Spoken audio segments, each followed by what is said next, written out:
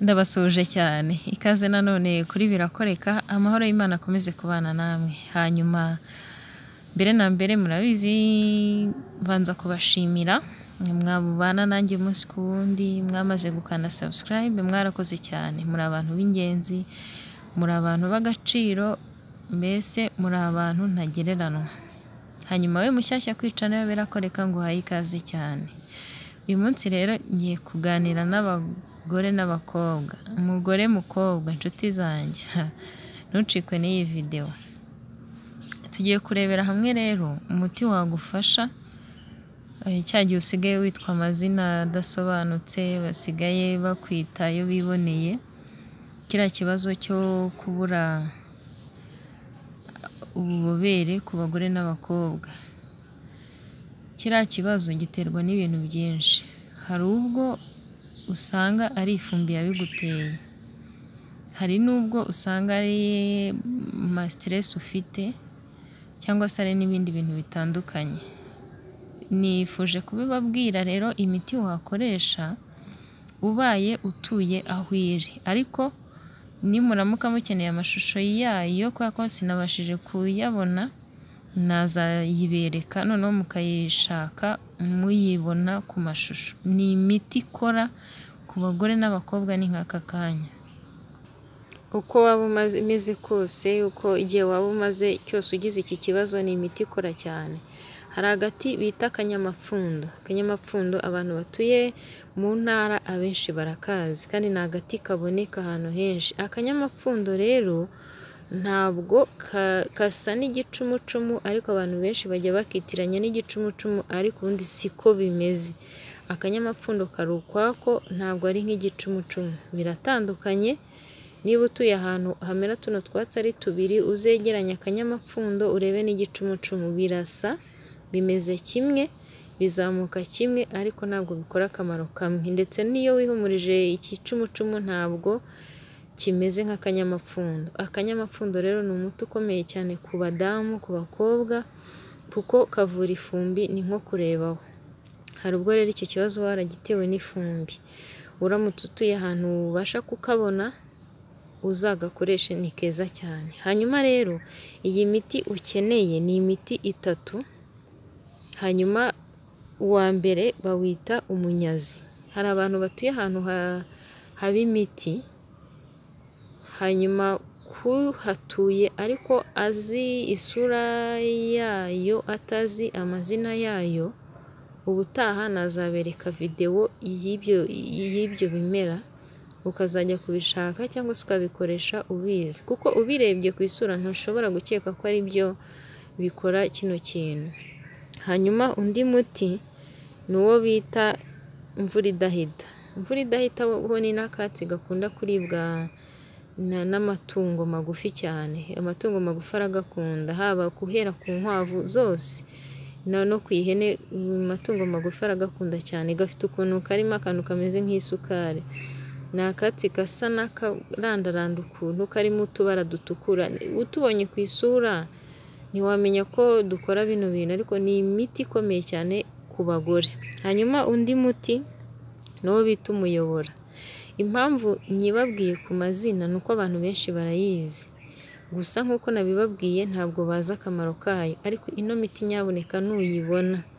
Uzayegeranye uyikoreshe kuri iki kibazo rwose umva ni nk'aka kanya, nta minsi umara ibintu byawe bihita bigenda neza. Kuko nta bundi buhanga bisaba ni ukuwuca cyangwa kuwahira uko ubyita kose, warangiza ukawutunganya neza yose iri kumwe kuko uramutse uzi ikibazo ufite wakoresha umwe muri yo ukora nk'ibyo iyi yose ikora, ariko icyiza cyo kuyivanga ni uko uba utazi ikibazo ufite, tuvuge uramutse ufite nk'ikibazo cy'ifumbi ugakoresha iyi yose, ishobora gukemura cya kibazo wari ufite ariko ifumbi idakize ntibigende neza, byaba byiza rero uyegeranije ukayikoresha yose icyarimwe kuko ni n'imiti iboneka cyane rwose, gusa guhita nyibona ntabwo byanyorohera. Ariko muramutse mukeneye amashusho yayo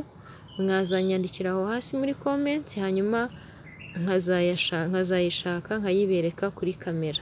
Nibyo byanaba byiza ntimuzayitiranye. Ariko impamvu mbabwiye amazina ni uko ushobora no kubaza umuntu. Bano bamama bakuze baba cyangwa na bano batuye ahantu haba ibyatsi barayizi ino miti ni imiti izwi n'abantu umva uzawubaze umuntu azawukwereka. Niyo wawubaza wikinira wenda atari na ngombwa ngo umubwire icyo ugiye kuwukoresha azahita awukwereka.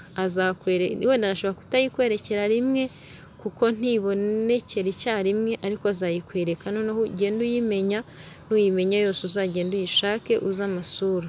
Ariko nk'uko nabibabwiye byiza muramutse mukeneye amashusho yayo ko nazayibereka.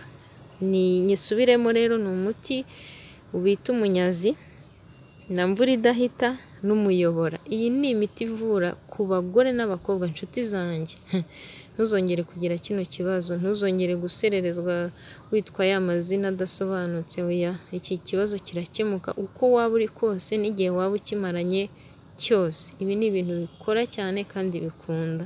Hanyuma akanyamapfundo ko rwose kavura n'izindi ndwara nyinshi nyinshi nyinshi.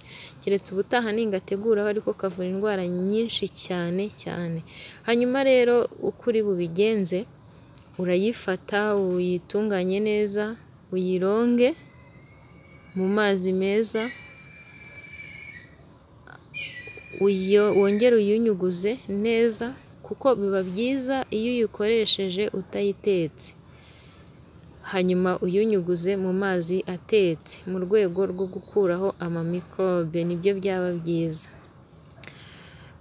Wayimikisa wayisekura mu gasekuru uko wayikora kose nta kibazo. Hanyuma kubera yuko nta mazi menshi igira utahita ubona amazi ahagije iyo ubona ari nk'igikatsi kigaragara ufata amazi mu gikombe kimwe cya kabiri cya litiro ukabivanga. Kuko uyu ni umuti uboneka cyane ahantu henshi si ngombwa ngo ukore mwinshi uwubike kuko udafite uburyo bwiza bwo kuwubika ushobora kugaga. Byiza ko ufata uwo ukoresha bigahita birangira hanyuma ukazongera ukajya gushaka undi. Hanyuma cya gikatsi wavanze muri ya nusu y'amazi ukabireka bikamaramo umwanya ukabitereka iminota mirongo itatu bigakora ubwo uri kuvangisha akayiko cyangwa se ikanya igikatsi kikivanga n'amazi bireke bimara umwanya. Hanyuma ufate akayunguruzo uyungurure wa muti wawe unywe. Mu gitondo ukibyuka na mbere yo kujya kuryama uzayikoresha iminsi mike cyane. Ikibazo ufite kizahita gikemuka. Urawuronga neza mbisubiremo n'amazi meza ukawukura mu mazi ya mbere aya kabiri bitewe n'amazi uri kuwurongamo cyangwa bitewe n'uko wowe wasaga hanyuma byagera aho ubona unoze ukawujaburamo. Watotoye ariko watotoye utubabi twayo ntabwo urandura kuko imizi ntabwo ari yo uba ugiye gukoresha. Ushobora kumbaza utese urarandura? Ushobora kuyirandura ugiye kuyikoresha noneho wajya kuyitunganya ugacamo utubabi. Akaba ari two ukoresha ariya mizi yo hasi ukayihorera kuko imizi ifite indi mimaro imara ntabwo iba igiye gukemura ikibazo ufite aka kanya ni utubabi twonyine. Ukaronga neza mu mazi atetse ukajaburamo hanyuma ukayitunganya. Uko wayikoresha kose ariko nk'uko nabibabwiye byiza ko utayiteka ntabwo ari byiza ko uyiteka wowe yitunganye mu mazi meza ni ibintu bikora cyane. Ibi bimera rero nshuti yanjye niba wabibonaga ukabitera ishoti uri umugore uri umukobwa. Ahubwo niba unabishoboye ubitere hafi aho ngaho rwose hafi y'akarima k'igikoni. Uretse ko ni n'uduti twimeza hafi aho ugasanga mu karima k'igikoni twamezemo ariko tugahora tutwahirira amatungo tutazi ko natwe ubuzima bwacu budukeneye. Ibi bintu rero uzabigerageze ni ibintu ni nk'ako kanya mbese ni nko kurebaho mwakoze kubana nanjye ukunze ibyo mbagezaho kanda sabusikarayibe like na komenti usharinge no ku bandi Imana ibarinde.